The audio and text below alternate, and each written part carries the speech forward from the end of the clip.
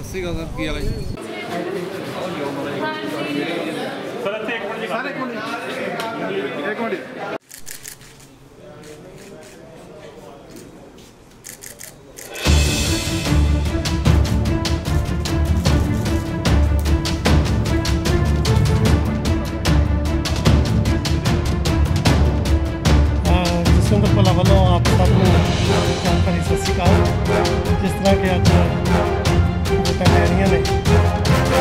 ਅਸੀਂ ਵੀ ਇੱਕ ਫਰਮ ਨਿਭਾਉਣ ਲਈ ਅਸੀਂ ਪਹੁੰਚੇ ਹਾਂ ਜਿਹੜਾ ਸਾਡਾ ਰਾਈਟ ਹੈ ਵੋਟ ਦਾ ਅਧਿਕਾਰ ਆ ਇਸਤੇਮਾਲ ਕਰਨਾ ਚਾਹੀਦਾ ਕੋਈ ਵੀ ਵੋਟ ਵੇਕੈਂਟ ਨਹੀਂ ਜਾਣੀ ਚਾਹੀਦੀ ਘਰੇ ਬੈਠ ਕੇ ਅਸੀਂ ਟਾਈਮ ਵਿਅਰਥ ਕਰਨਾ ਕਰੀਏ ਵੋਟ ਪਾਉਣ ਆਈਏ ਆਪਣੇ ਪਸੰਦੀਦਾ ਉਮੀਦਵਾਰ ਨੂੰ ਚੁਣੀਏ ਔਰ ਇੱਕ ਐਸੇ ਇਨਸਾਨ ਦੇ ਹੱਥ ਅਸੀਂ ਵਾਗਡੋਰ ਫੜਾਉਣੀ ਹੈ ਅਗਲੇ 5 ਸਾਲ ਲਈ ਕਿ ਸਾਡਾ ਦੇਸ਼ ਦਿਨ ਦੁਗਣੀ ਤੇ ਰਾਤ ਚੌਗਣੀ ਤਰੱਕੀ ਕਰੇ ਭਾਈ ਆਇਆ ਕਿ ਲੁਧਿਆਣਾ ਚ ਹੁਣ ਤੱਕ ਜਿੰਨੀ ਸਟੇਟਾਂ ਹੈਗੀਆਂ ਸਭ ਤੋਂ ਘੱਟ ਪੋਲਿੰਗ ਕਾਸਟ ਹੋਈ ਹੈ ਸਭ ਤੋਂ ਘੱਟ ਵੋਟਿੰਗ ਕਾਸਟ ਹੋਈ ਹੈ। ਕੀ ਨੌਜਵਾਨਾਂ ਦੀ ਜਾਗਰੂਕਤਾ ਦੀ ਹਜੇ ਵੀ ਲੋੜ ਹੈਗੀ ਹੈ? ਨਹੀਂ ਐਸੀ ਤਾਂ ਨਹੀਂ ਗੱਲ ਹੈ ਕਿ ਅਵੇਅਰਨੈਸ ਤਾਂ ਹੈ ਸਾਰਿਆਂ ਨੂੰ।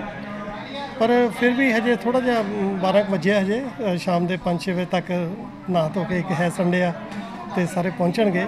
ਇੰਨੀ ਵੋਟ ਘੱਟ ਨਹੀਂ ਪੈਂਦੀ। ਪਰ ਉਹ ਤੁਹਾਡੀ ਗੱਲ ਸਹੀ ਆ ਕਿ ਸਾਡਾ ਨੌਜਵਾਨ ਵਰਗ ਹੈ ਜੋ ਉਹ ਬਸ ਕਹਿ ਸਕਦੇ ਹੋ ਤੁਸੀਂ ਕਿ ਆਪਣੀ ਮਸਤੀ 'ਚ, ਹੈ ਇੰਜੋਏ ਕਰਦਾ। ਪਰ ਉਹਨਾਂ ਨੂੰ ਵੱਧ ਚੜ ਕੇ ਹਿੱਸਾ ਲੈਣਾ ਚਾਹੀਦਾ, ਕਿਉਂਕਿ ਉਹ ਸਾਡੇ ਦੇਸ਼ ਦਾ ਭਵਿੱਖ ਨੇ। ਉਹਨਾਂ ਨੇ ਦੱਸਣਾ ਕਿ ਸਾਡੇ ਜੋ ਦੇਸ਼ ਦੀ ਵਾਗਡੋਰ ਆ, ਕਿਸ ਦੇ ਹੱਥਾਂ ਵਿੱਚ ਜਾਣੀ ਚਾਹੀਦੀ ਆ ਤਾਂ ਕਿ ਉਹਨਾਂ ਦਾ ਜਿਹੜਾ ਬੱਚਿਆਂ ਦਾ ਫਿਊਚਰ ਆ, ਭਵਿੱਖ ਆ, ਉਹ ਸੇਫ ਰਹੇ ਔਰ ਉਹਨਾਂ ਨੂੰ ਅੱਛੀਆਂ ਨੌਕਰੀਆਂ, ਅੱਛੀ ਤਾਲੀਮ ਔਰ ਹੋਰ ਬਹੁਤ ਸਾਰੀਆਂ ਜਿਹੜੀਆਂ ਸੁਵਿਧਾ ਨੇ ਉਹਨਾਂ ਨੂੰ ਮਿਲਣੀਆਂ ਚਾਹੀਦੀਆਂ ਪੋਲੀਟੀਕਲ ਪਾਰਟੀਆਂ ਬਹੁਤ ਦਾਅਵੇ ਕਰਦੀਆਂ ਵਾਅਦੇ ਕਰਦੀਆਂ ਜਦੋਂ ਇਲੈਕਸ਼ਨ ਖਤਮ ਹੋ ਜਾਂਦੀ ਹੈ ਜਿੱਤ ਜਾਂਦੀਆਂ ਨੇ ਉਹ ਪੂਰੇ ਨਹੀਂ ਕਰਦੀਆਂ। ਕੀ ਲੱਗਦਾ ਕਿ ਐਕਸ਼ਨ ਹੋਣਾ ਚਾਹੀਦਾ ਜਿਹੜੇ ਆਪਣੇ ਮੈਨੀਫੈਸਟੋ ਜਾਰੀ ਕਰਦੇ ਆ ਉਹ ਤੇ ਬਾਅਦ ਚ ਵਫਾ ਨਹੀਂ ਕਰਦੇ? ਕੋਈ ਵੀ ਪਾਰਟੀ ਹੈ ਭਾਵੇਂ। ਉਹ ਫਿਰ ਪਤਾ ਲੱਗ ਜਾਂਦਾ ਜੀ ਅਗਲੀਆਂ ਚੋਣਾਂ 'ਚ ਉਹਨਾਂ ਨੂੰ ਐਕਸ਼ਨ ਤਾਂ ਆਪੇ ਹੋ ਜਾਂਦਾ। ਜਦੋਂ ਦੇਖ ਲੈਂਦੇ ਆ ਵੀ ਕਿੰਨੇ ਪਰਸੈਂਟ ਉਹਨਾਂ ਦੇ ਚੋਣ ਮੈਨੀਫੈਸਟੋ ਦੇ ਵਿੱਚ ਜੋ ਜੋ ਉਹਨਾਂ ਨੇ ਪ੍ਰੋਮਿਸਸ ਕੀਤੇ ਸੀਗੇ ਉਹ ਫੁੱਲਫਿਲ ਕੀਤੇ ਆ ਕਿ ਨਹੀਂ ਕੀਤੇ। ਸੋ ਉਹਨਾਂ ਨੂੰ ਵੀ ਅੰਦਰ ਆਪਣਾ ਝਲਕਦਾ ਲੋਕਾਂ ਨੂੰ ਵੀ ਪਤਾ। ਸੋ ਇਸੇ ਕਰਕੇ ਤਾਂ ਕਹਿੰਦੇ ਆ ਵੀ ਜਿਹੜੀ ਤੁਹਾਡੀ ਵੋਟ ਹੈ ਇੱਕ ਬਹੁਤ ਜ਼ਿੰਮੇਵਾਰੀ ਵਾਲੀ ਵੋਟ ਹੈ ਔਰ ਸੋਚ ਸਮਝ ਕੇ ਤੁਹਾਨੂੰ ਸਾਰਿਆਂ ਨੂੰ ਇਹ ਵੋਟ ਪਾਉਣੀ ਚਾਹੀਦੀ ਹੈ। ਕਿਹਨਾਂ ਜੀ ਉਹ।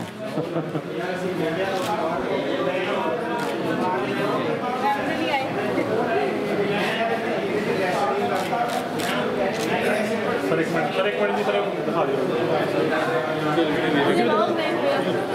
ਪੱਲਾ ਸਾਹਿਬ ਸਾਹਮਣੇ। ਇੱਕ ਮਿੰਟ ਭਾਈ ਤੁਸੀਂ ਵੀ ਦਿਖਾਓ ਜੀ ਵੋਟਰ ਆਪਣਾ ਦਿਖਾਓ। ਪਾਣੀ ਕੋਈ ਗੱਲ ਨਹੀਂ ਕੋਈ ਗੱਲ ਨਹੀਂ ਵੋਟ ਦਿਖਾਓ ਦਿਖਾਓ ਨਾ। ਵੋਟਰ ਕਾਰਡ ਕੱਢ ਲਓ। ਵੋਟਰ ਕਾਰਡ ਦਾ ਕੱਢ ਲਓ। ਇੱਕ ਮਿੰਟ। ਦਿਖਾਓ ਜੀ ਇੱਕ ਮਿੰਟ। ਦਿਖਾਓ ਓਕੇ ਜੀ